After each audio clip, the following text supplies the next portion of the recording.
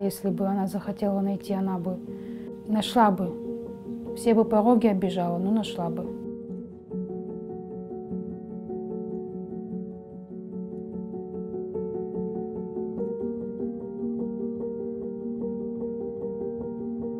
Когда умерла моя сестра, Ваняшка, и она временно отказалась, чтобы заняться похоронами. Она говорила, что пришлось принять такое решение, поскольку она была одна с детьми, четверо детей было у нее.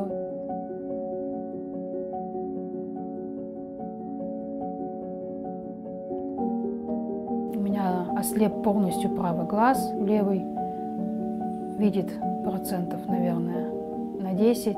Надо было в три годика делать операцию. Если бы прооперировали, может быть, сохранилось бы зрение.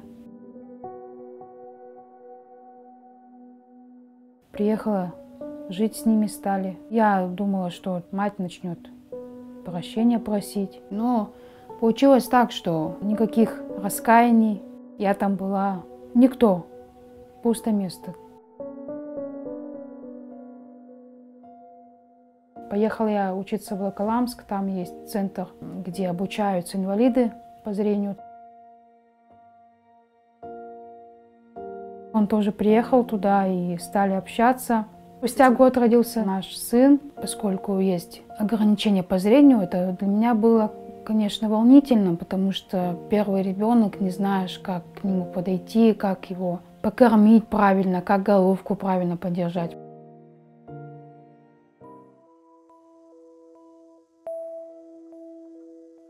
Когда я об этом узнала, конечно, я была в шоке. После этого я, конечно, от него ушла.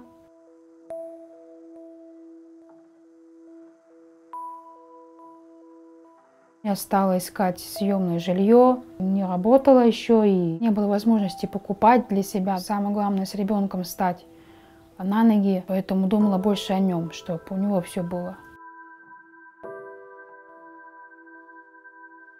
Это тяжело, конечно, воспитывать одной. Понимаю, что не смогу стать ему отцом, но все же я стараюсь воспитывать его, чтобы в дальнейшем был достойным человеком.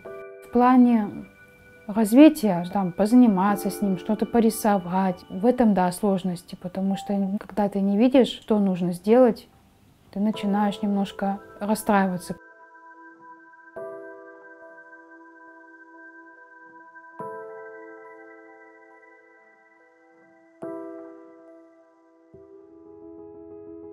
Мне подсказали, что есть такой фонд «Второе дыхание», где можно получить одежду. Мы поехали туда и помогли мне. Они с пониманием относятся, они понимают, что я необычная девушка, стараются помочь. То есть хорошее отношение ко мне. Ну вот эта вот кофточка так понравилась, но она Да, мне маленькая. Мне кажется, размер, да. она вырос надо. Вот майка есть. Майка. И джинсы с тобой еще померяем. А есть? Да. Вещи там все стиранные, ухоженные, в хорошем состоянии. У них, скорее всего, длина будет высоковата тебе. А, имеете в виду? Да, ну в смысле, что да, они А тебе мне будут... надо высокую, мне низкую не а, посадку. что они будут длинными, но можно будет Убавить. подкатать. Ты скажешь, например, мне нужно выбрать водолазку. Они начинают несколько вариантов тебе подкидывать. Я начинаю примерять и по ощущениям э, понимать как-то, что сидит или не сидит на мне. Вот видишь, хотела водолазку, мы тебе подобрали. Да, Ну классно. хорошо сидит. Я Тимофею набираю в основном по ощущениям. Говорю, например, сколько ребенку лет, какое у него телосложение. Для мамочек это огромная помощь, когда если мамочка находится в трудной жизненной ситуации, и когда у нее нет э, финансовой поддержки, то это огромная помощь, конечно.